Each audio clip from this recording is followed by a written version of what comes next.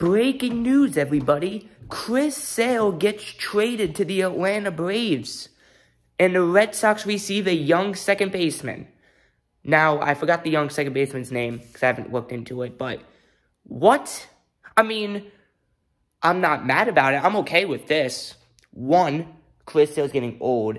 Two, 80% of the time he's injured the past four years. He was one of our best pitchers, though, this um, decade. Definitely. He won us the 2018 World Series. He, I, he pretty much carried, especially in the pitching rotation for the 2018 year for the Red Sox when they won the World Series against the Dodgers.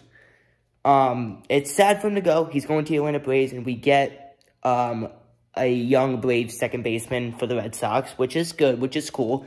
Um, his first ever home run was at Fenway Park over the Green Monster, so hopefully many more uh, um, of that hopefully will happen when he's in a Red Sox jersey for the 2024 season.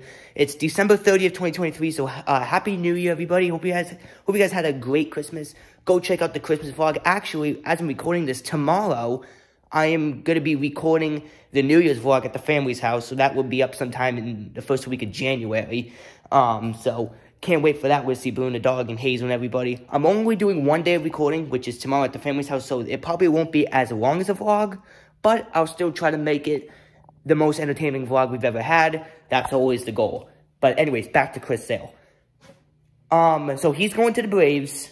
We also picked up another pitcher. I think it was from the White Sox. I don't know anything about that guy. Again, it's at least the Red Sox are spending their money because usually when we talk about the Red Sox, when we rant about them, they don't spend money. But this time they are, and they got rid of Chris Sale. So I've been talking about the Red Sox off seasons. This is my third year of doing this. I started in 2021. It's 2023, about to go into 2024. It's my third year doing this.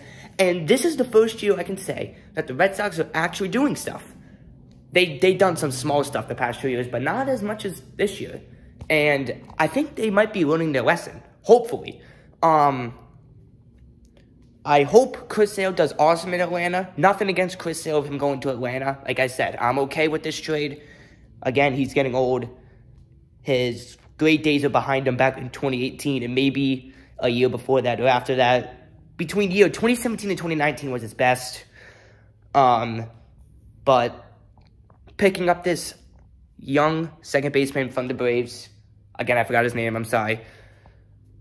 I think it's a good pickup and I think I think the Red Sox could win this trade. Excuse me. And I think the Braves could as well, because who knows? Chris Sale could be healthy the entire year and pitch really good for the Braves. And the Braves have all these other firepower teams. I could maybe they'll win a World Series. Who knows? They won it back in 2021 against the Astros. Still happy about that till this day. Uh, congratulations to the Texas Rangers winning the World Series this year. Um, I kind of wanted both teams to win because the Diamondbacks haven't won it since 2001, and the Texas Rangers, that was their first ever World Series championship. So I was kind of going for both teams. But, anyways, um, I just think I, I like the trade. Let me know what you guys think in the comment sections about the trade. If you're a Braves fan, let me know what you think of uh, what you think of it. Me as a Red Sox fan, out of 10, I would say about a I would probably say a seven. I was going to say six, but I bumped it up to a seven because of Chris Sale's great pitching days were like three, four years ago. So we'll see what happens. This is just a quick little video just to let you guys know what happened today because this came out today. So we'll see what he does on the Braves and we'll see what the Braves young second baseman does for the Red Sox. And next video on this channel will most likely be the New Year's vlog. And if you haven't checked out the Christmas vlog or any of the vlogs, because they're one of my favorite videos to make on the channel, definitely go check it out. I have a playlist of all the vlogs. And uh, yeah, I can't believe we've made we've made around like 30 vlogs already in the past like two, three years. So it's amazing. We're, we're going to keep going with it. Vlog schedule, if you want to know. We're about to record a New Year's one. Potentially my brother's birthday if my aunt and uncle comes down. We'll, uh, we'll put... That scared the living daylights out of me. Oh my god. Hold on, everybody. Technical issues here. There we go. that scared the hell out of me.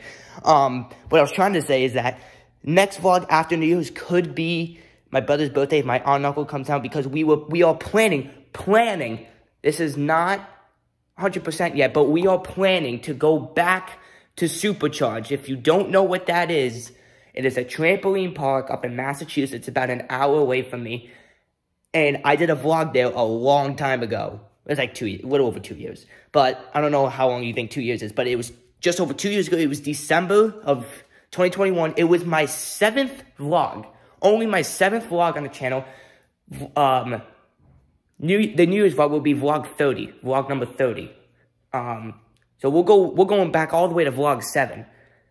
So if we can go back there for my brother's birthday, which is at the end of January, which is about a month from now, that will be historic for the channel and great entertainment because it was like an hour long vlog. You got to go check that out, vlog 7.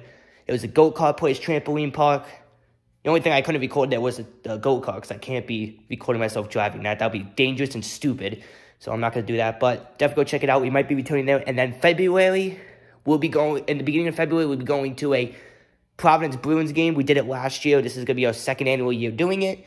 And then St. Patrick's Day in March. So that's the uh, that's the schedule. And I just want to let you know, guys know about this Chris Sale trade because it's huge, because it's Chris Sale. and He's been a big player for the Red Sox. So I hope you guys enjoyed, and I will see you guys in the next video, which will be the New Year's vlog. Peace out, everybody.